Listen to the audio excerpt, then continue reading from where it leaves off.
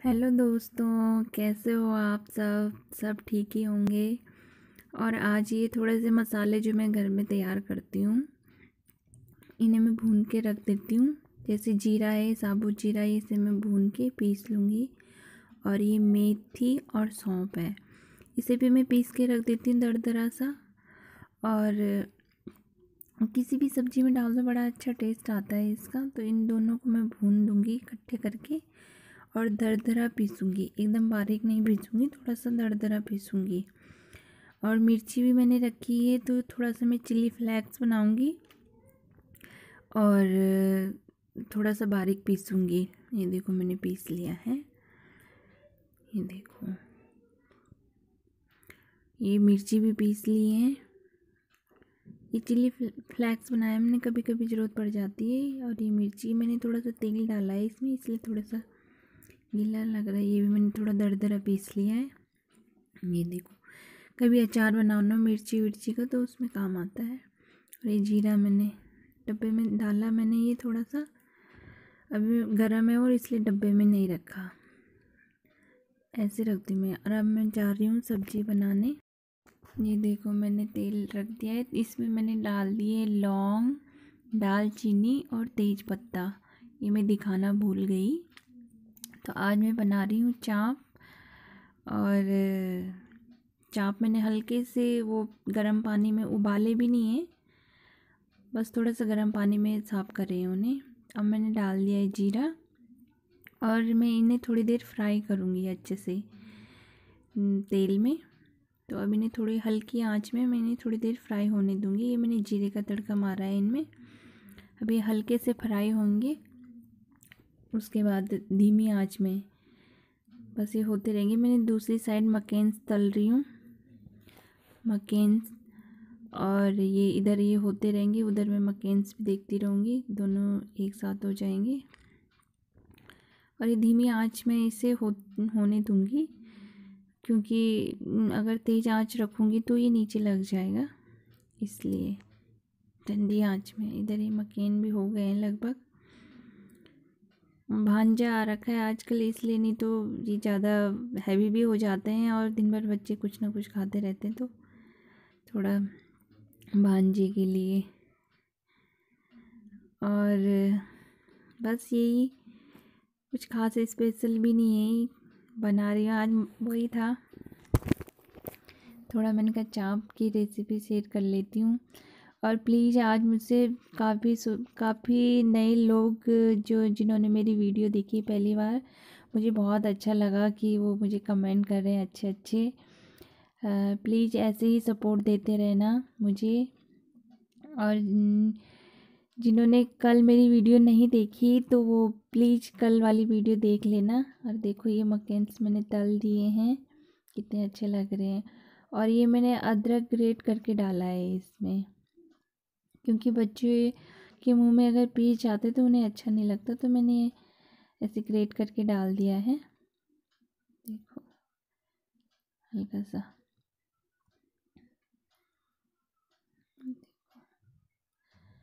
बस ये भी होता रहेगा, उधर मकेन भी हो गए हैं। और बस तल दिया है इनको, ये ठंडी आँच में हो रहा है। इधर मैंने इसकी प्या, इसके लिए प्याज लंबा लंबा काटा है और इन्हें मैं करारा करूँगी, इन्हें कुरकुरे करूँगी, प्याज़ों को। ये देखो, ये भी लगभग हो गए हैं। देखो, ये हो चुका है। अब मैं इसमें मसाले डालूँगी। और मसाले भी कुछ ज़्यादा नहीं है। इसका ये डाल दिया मैंने नमक। अपने स्वाद अनुसार डालना। धनिया पाउडर, जीरा पाउडर और थोड़ी सी हल्दी। और आज मैं इसमें लाल मिर्ची डालूँगी थोड़ा कलर के लिए क्योंकि थोड़ा देखने में भी अच्छी लगनी चाहिए ना सब्ज़ी, इसलिए। ये देखो मैं क्योंकि मैंने एक हाथ में फ़ोन पकड़ा हुआ तो इसलिए मैं सही से मिक्स नहीं कर पा रही हूँ तो मैं फ़ोन नीचे रखूँगी, उसके बाद इसे सही से मिक्स करूँगी। इधर देखो, प्याज भी मैं देख रही हूँ, प्याज भी होने वाला है थोड़ी सी देर और है। बस देखो, हो चुका है प्याज। देखो। थोड़ा सा तेल कम हुआ है इसके लिए, नहीं तो ये थोड़ा और अच्छे से जल्दी हो जाता। देखो, हो गया है। और ये देखो, अब मैं इसमें डालूँगी टमाटर। थोड़ा सा मसाला पक गया है तो अब मैंने इसमें डाल दिए टमाटर। टमाटर के मैंने बीज निकाल के और फिर इन्हें ग्रेट कर दिया है। तो देखो, देखने में भी कितनी अच्छी लग रही है अभी सब्ज़ी। देखो हमें इसे सही से मिक्स करके फिर इसमें मैं मलाई डालूँगी। ये देखो। ये थोड़ा सा टमाटर पक जाएगा, थोड़ा कच्चापन निकल जाएगा इसका। फिर इसमें जाके मैं मलाई डालूँगी थोड़ी देर पकने के बाद। और ये प्याज मेरा हो गया है थोड़ा थोड़ा क्योंकि ये हल्का सा वैसे भी गर्म रहता तो इसे नीचे निकाल दूँगी। तो ये थोड़ा थोड़ा करारा हो जाएगा। एकदम काला करोगे तो अगर गैस में इसे काला करोगे तो फिर इसमें कड़वा हो जाता है, इसलिए इसे हल्का सा ऐसे ही निकालना पड़ता है। तो देखो अब मैं इसे निकाल लूँगी। प्लेट में अलग से उधर सब्ज़ी भी हो रही है। देखो, हो चुका है थोड़ा थोड़ा प्लीज़ मेरी वीडियो को लाइक ज़रूर करना और शेयर भी करना, प्लीज़।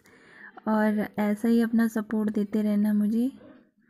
मुझे बहुत अच्छा लगता है जो मुझे कमेंट करते हैं, मेरी वीडियो को देखते हैं, बहुत अच्छा लगता है। तो सपोर्ट करते रहना प्लीज़ और लाइक भी करना। देखो, मैंने इसे निकाल दिया है और ये देखो, ये हो चुका है। इसे मैं हल्का सा करारा करूँगी। ये ठंडा होके अपना आप से करारा हो जाता है। ये देखो। इधर ये सब्ज़ी भी टमाटर का कच्चापन निकल है, टमाटर के साथ हो गया है, भून गया है अच्छे से।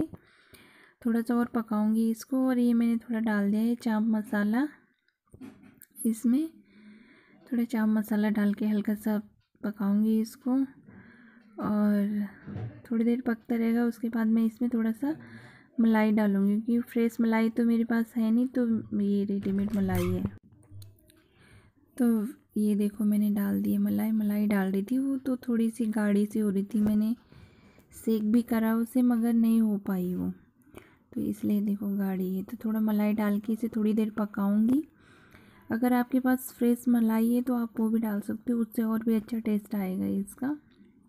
फ्रेश मलाई से, तब इसे अच्छे से मिक्स करके थोड़ा देर पकेगा। आपको जैसी चाहिए, अगर ज़्यादा गाढ़ी ग्रेवी अच्छी लगती तो आप गाढ़ी रखिए, नहीं तो थोड़ा सा पानी डाल दें। मैं तो हल्का सा पानी डालूँगी इसमें, क्योंकि थोड़ी देर पकने के बाद ये और गाढ़ा हो जाएगा तो इसमें थोड़ा सा पानी डालूँगी मैं। देखो, थोड़ा पानी डाल के हल्का सा पक जाएगा, उसके बाद मैं इसमें प्याज अच्छे से क्रश करके फिर डालूँगी इन्हें। देखो, अच्छे से तोड़ के फिर डालूँगी इसको, देखो। हो गई हैं। थोड़ी बहुत रहेंगे तो कोई दिक्कत नहीं अच्छा टेस्ट आता है इसका। ये देख लो। ये देख लो। देखने में कितना अच्छा लग रहा है, देखो। अगर मेरी ये रेसिपी आप लोगों को पसंद आई तो प्लीज़ लाइक ज़रूर करना लाइक ज़रूर करना और कमेंट भी ज़रूर करना। और ये रेसिपी शेयर भी ज़रूर करना अपने दोस्तों के साथ। थोड़ी देर ढक के पकाएँगे इसको। और, ये देखो।